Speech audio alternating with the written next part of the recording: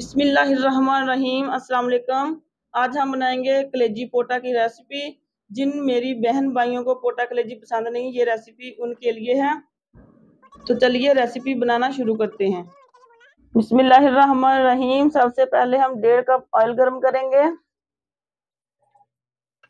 Oil अच्छे तरीके से गर्म हो चुका है। अब हम इसमें मीडियम साइज़ के दो अदद प्याज डाल देंगे।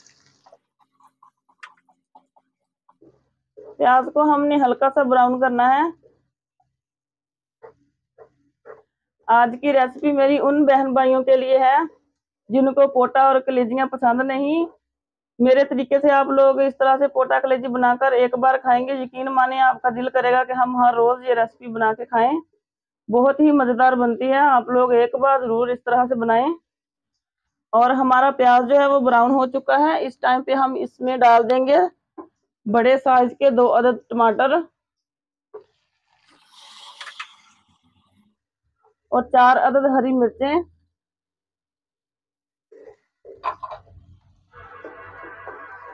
और तीन चम्मच अदरक लहसुन का पेस्ट।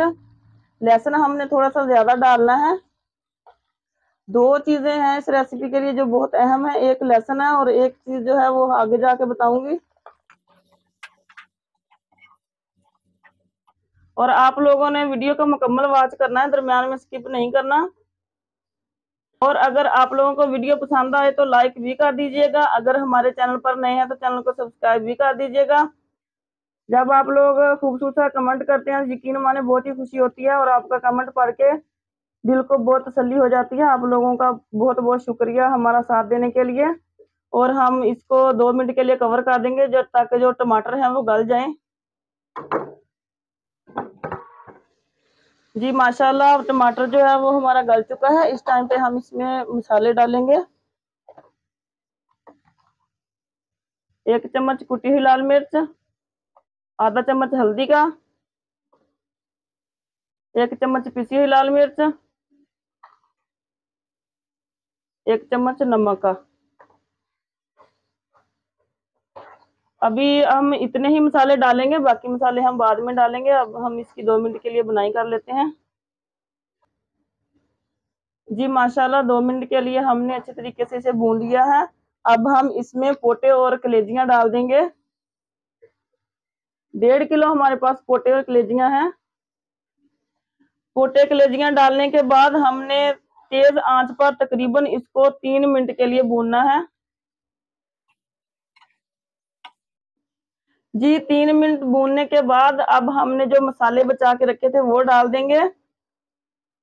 दो अदद बड़ी इलायची, दो अदद छोटी इलायची, आधा चम्मच काला जीरा, जिसको हमने रोस्ट कर लिया था, उसे हमने बारीक पीस लिया है। आधा चम्मच है, ये डालेंगे और एक चम्मच खुश्क धनिया। और दूसरी चीज़ जो इस रेसिपी के लिए बहुत ही अहम है, वो है सौंफ। सौंफ को भी हमने रोस्ट कर लिया था और इसको बारीक पीस के छान लिया है। ये मसाले इस टाइम पे हम इसमें डाल देंगे।